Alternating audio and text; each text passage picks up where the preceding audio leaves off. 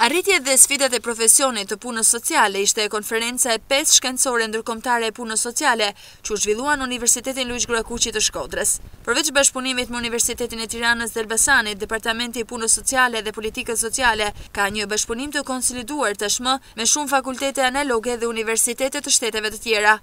Kjo është një konferencë shkencore, ndërkombëtare, që mbledh akademikë dhe profesionistë të punës sociale,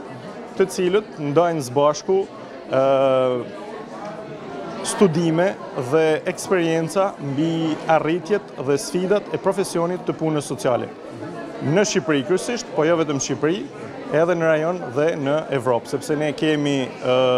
referate qoftë nga Shqipëria, Kemi referate nga Kosova, kemi referate nga vende të ndryshme europiane si Italia, Franca, Zvicra, Spanja e tjerë. Rektorja e Universitetit Luigj Gurakuqi, Suzana Golemi tha se është shumë e rëndësishme që në këtë konferencë marrin pjesë mbi tetëdhjetë pedagogë, duke treguar rëndësinë që ka përgatitja e specialistëve për punën sociale dhe eksperiencat e tyre. E cilësoj si një arritje të universitetit tonë faktin se kjo konferencë mbledh së bashku tetëdhjetë pedagogë dhe kërkues shkencorë të rajonit dhe më gjerë, përfaqësues të institucioneve publike, të organizatave të shoqërisë civile, si dhe studentë doktorantë të cilët përmes punimeve shkencore kanë mundësi të shkëmbejnë eksperiencat e tyre të lidhura me tematikat kryesore të konferencës. Në gjithë rrugëtimin e tij, Universiteti i Shkodrës ka qenë në qendër të vëmendjes së bashkëpunimit me universitetet shqiptare dhe të huaja,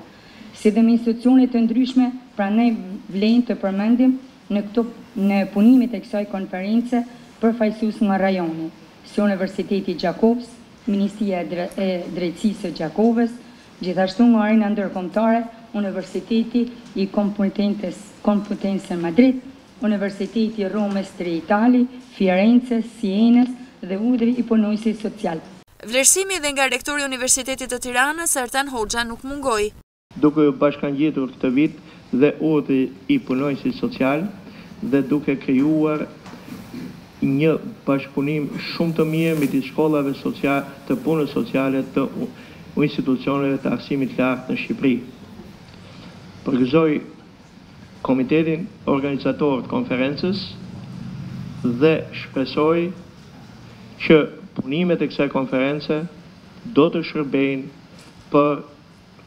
ndihmesën e tyre në rritjen e mëtejshme të politikave sociale në ndihmë shoqërisë shqiptare dhe gjetjet dhe arritjet e kësaj konference të cilat besoj se do të jenë të hapta për publikun pasi do të botohen dhe në revista shkencore qoftë të universiteteve apo edhe në materiale të tjera. Nga Universiteti Luigj Gurakuqi në Shkodër çdo vit diplomohen mesatarisht dyzet studentë për punë sociale. Punësimi është i niveleve të mira, sidomos për studentët e punës sociale. Zakonisht në vitin e parë tek ne regjistrohen rreth gjashtëdhjetë studentë, diçka ma pak se gjashtëdhjetë studentë, dhe kur arrijnë në vitin e tretë, kryesisht janë rreth dyzet studentë që diplomohen, pjesa më e madhe e tyre gjen punë në institucione, në shërbime sociale dhe jemi një prej degëve të cilat kanë treg dhe studentët kanë një punësim të mirë përgjithësisht. Përveç pedagogëve të universiteteve të Shqipërisë dhe Kosovës, si përfaqësues të disa ministrive në Tiranë, Merrnin pjesë dhe përfaqësues nga katërmbëdhjetë universitete dhe institucione të shteteve të ndryshme.